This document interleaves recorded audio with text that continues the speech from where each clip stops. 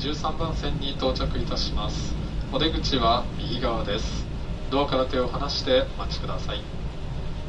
東北新幹線お乗り換えのご案内です。山彦翼145号。仙台新庄行きは下りホーム17番線から16時25分。